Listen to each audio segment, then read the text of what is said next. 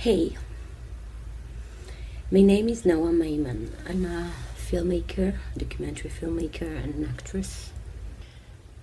Welcome to the toolkit for the fresh rape victim. when I was five, I was sexually abused by someone who worked in our house. Um, it lasted a few months. This is Emma. Emma, say hi. Please say hi. If you just went through rape now, go check yourself. If it's not checked right after, there is almost no way to prove, and I really want us to change that. Society doesn't like talking about the subject, which in turn leaves us really, really lonely and we end up needing to deal with it ourselves, to carry it ourselves. We don't share, and eventually it kills us. And that's what I want us to stop doing. Speak to someone professional first. Call a hotline. Get the first support before you go on to talk to the closest people to you.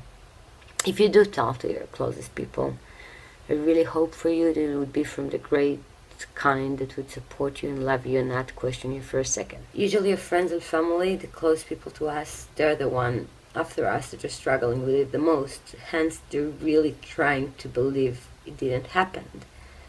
And that can be so painful for us. Some of us don't remember a lot, and some of us remember every little detail if you're now in denial and it's comfortable, stay there. Honestly, don't push yourself. When it comes, it comes, and it comes when we need to deal with that. Why did it take her 15 years to complain? Why did she wait 10 years until he spoke about it? You know what? Because usually we don't even remember it or cannot even cope with that before that, so it takes us time, motherfuckers.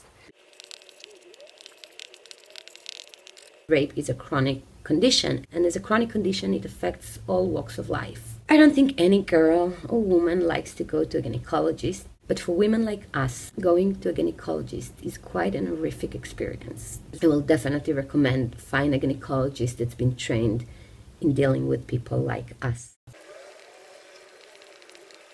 I hate to be tested, but unfortunately, I have to say that I've done it in a lot of my relationships. And those tests can be quite tiring from the person in front of us, especially if he doesn't know the reason for them and it doesn't understand the dynamics that the psychological background that leads us. How much does your partner wants needs and able to contain what you went through? And how much you're willing to put it into your relationship and bring this awful experience into this beautiful intimate thing you're trying to create?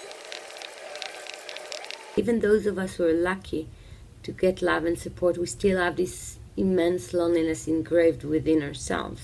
We're so used to this sense of loneliness that if in any time someone shows up and seems to understand, we tend to be a tiny bit needy. Hence, we need you to give us boundaries, but we need you to do it full of love. Don't pressure us to talk about that if we're not ready. But make sure, behind any reasonable doubt, that we know that you're there and you're willing to listen and you're happy to listen. What men can do is give us love, is give us support, is help us seek for our justice in legal ways, and it's take an oath that you would never ever, in no circumstances, would put a woman in a similar situation.